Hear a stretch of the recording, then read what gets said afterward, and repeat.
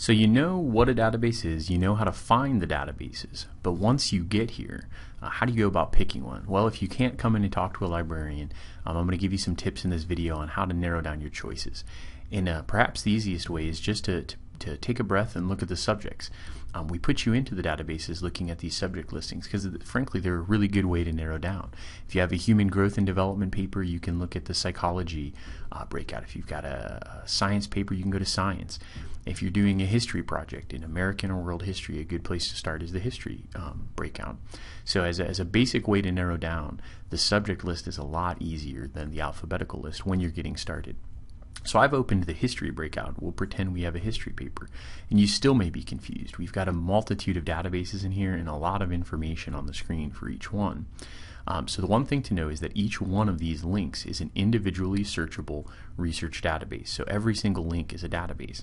Um, but I'm gonna I'm gonna show you a couple of things that are common to each link. So first off, America History and Life, archival films and newsreels, arts and science, Encyclopedia of American Studies, historical abstracts with full text in the New York Times Historical. Those are the names of the databases. That first part of each record, that's what the database is called.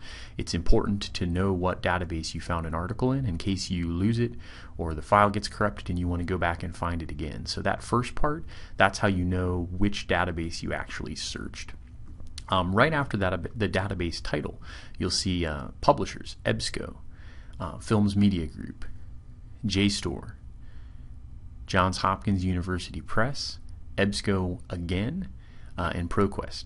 So these are the publishers. It's important to note those because sometimes you may like a publisher, you may like ProQuest or EBSCO, and so that's a good way to narrow down. You can you can pick based on a publisher you like, and you'll notice as here with EBSCO, a lot of times um, these publishers appear multiple times in a database listing. So um, you know you got two EBSCO choices there. One last important thing to note um, on the physical record is the little blue eye. This eye appears on every single um, database link that we have in, in, our, um, in our index. And the blue eye is, is very important. It tells you all the information to know about the database. So if we click it for historical abstracts, you can at a glance see uh, its coverage, uh, how many journals it indexes, how far it goes back in time, um, you know, in its overall general holdings. So that blue eye tells you a lot and is an easy way to narrow down your search. Um, some databases are big, some are small, but that's a good way to narrow. So the first part of the record is your database name, followed by the publisher, and then the little blue eye that tells you everything you need to know about what kind of content and what coverage the database has. And don't think, I mean, I showed you history just because it's, it's a good one to illustrate, but keep in mind that we're looking at science right now and once you get the hang of what you're looking at, it's exactly the same as history was. Um, we can go into, into any one of these. Literature is going to be exactly the same as both history and science. Once you know how to read the records, it's very easy to figure out. So, one category I want to point out in particular to you, amongst others, is the general category.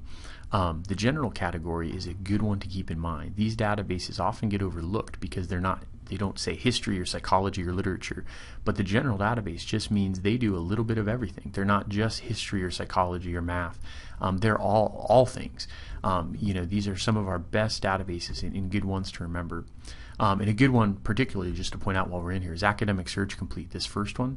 So if you click the eye for it, you can see it's, it's absolutely astonishingly huge 5,300 full text periodicals going all the way back to 1865.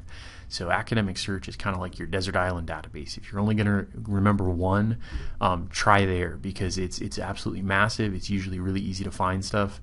Um, it's one of our best databases. So um, another good category to note is reference.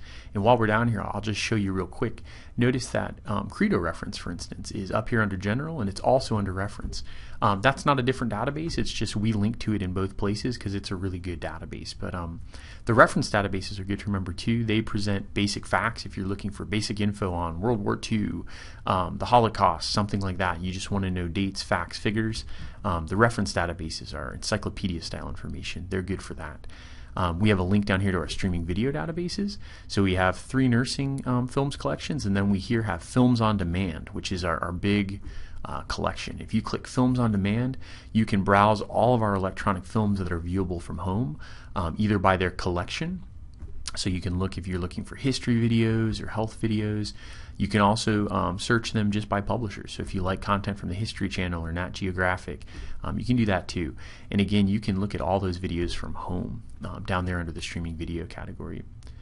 Um, notice too up at the top, uh, we're sorted by subject, but you can click alphabetical. So once you know where you're going, um, you can scroll down this list and jump right to it. It's it's easy in the beginning to, to go by subject, but if you use academic search all the time, or you always use films on demand and you just want to get there quickly, um, you're welcome to click the alphabetical list once you know where you're going because it's easy to find. The two we mentioned today are right here: academic search complete.